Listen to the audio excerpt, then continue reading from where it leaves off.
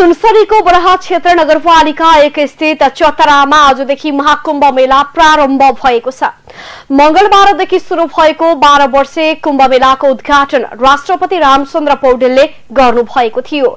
कुम्भ मेलाको उद्घाटनका क्रममा राष्ट्रपति पौडेलले मुलुकको समृद्धिका लागि एउटै मूल मन्त्र र गठबन्धन हुनुपर्नेमा जोड दिनुभएको थियो। राष्ट्रपति रामचन्द्र पौडेलले राजनीतिमा जो जसले गठबन्धन बनाए पनि मुलुकको विकास र सुशासन प्रवर्धनका लागि सबैको एउटै मूल मन्त्र र गठबन्धन हुनुपर्ने बताउनु भएको छ। सुनसरीको चतरा धाममा मंगलबारदेखि शुरू भएको बाह्र वर्षे कुम्भ मेलाको उद्घाटन तथा उहाँको सम्मानमा गरिएको नागरिक अभिनन्दन ग्रहण गर्नुहुँदै राष्ट्रपति पौडेलले निमुखा जनताको निर्वाध स्वतन्त्रता उपयोग गर्न पाउनुपर्ने संघीय लोकतान्त्रिक गणतन्त्र गणतन्त्रको दर्शनलाई सबैले आत्मसात गर्न आग्रह गर्नुभयो। राष्ट्रपति पौडेलले राजनीतिमा जो जो जता जता भए पनि दिग विकास सुशासन र मुलुकको समृद्धिका लागि सबैको एउटै मूल मन्त्र र एउटै गठबन्धन हुनु आवश्यक रहेको उल्लेख गर्नुभयो। कुम्भ प्रारम्भ भएको पवित्र दिनले गणतन्त्रले बोकेको दर्शनलाई सार्थक रूप दिन सबैलाई प्रेरणा मिलोस् भन्ने उहाँले कामना पनि गर्नुभयो। राष्ट्रपति पौडेलले धर्मको अर्थ विश्वमा शान्ति सहिष्णुता र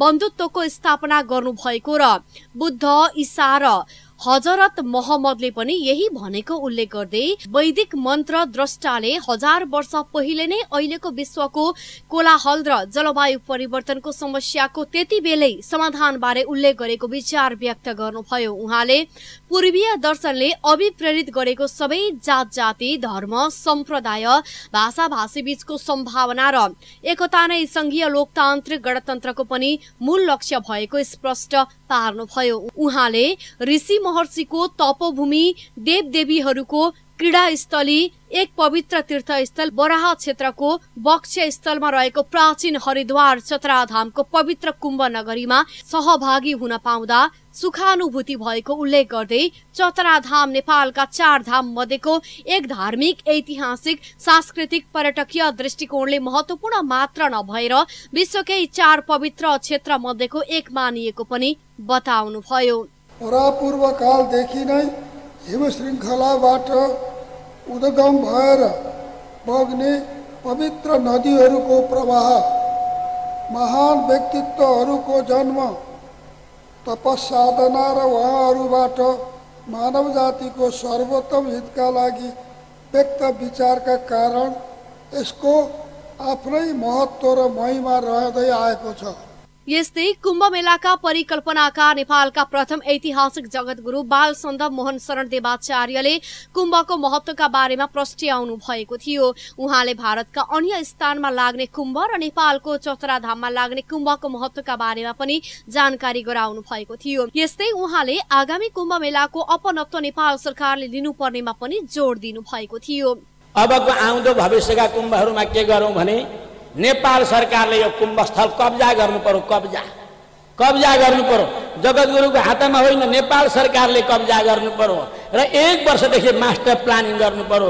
कुन मन्त्रालयको कुन विभागले यो काम गर्ने भन्ने। अनि प्लटिङ गर्नु पर्यो अनि टेन्डर आह्वान गर्नु पर्यो। त्यस पछाडि कुन कुन जोगीलाई कति कति गद दिने कति कति जमिन दिने भन्ने कुरो यहाँहरूले प्लानिङ गरेर आह्वान गर्नु पर्यो। यो प्लानिङ सञ्चालन गरौँ भने कुम्भ साँच्चै भारतको जस्तो दिव्य भव्य र सभ्य हुन्छ।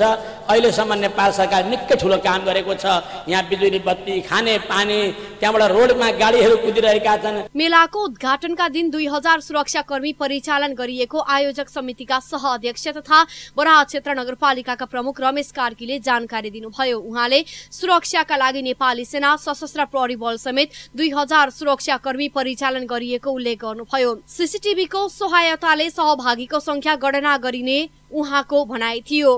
कुम्भ मेलाका क्रममा चालिस दिनसम्म मदिरा र माछा मासु बिक्री वितरण गर्न रोक लगाइएको छ। मेला आयोजक समितिका सह अध्यक्ष कार्कीले साध्विक बरा क्षेत्रको सन्देश प्रवाह गर्ने उद्देश्यले मदिरा र माछा मासु बिक्रीमा रोक लगाइएको बताउनुभयो। कुम्भ मेला एक महिनासम्म सञ्चालन हुनेछ।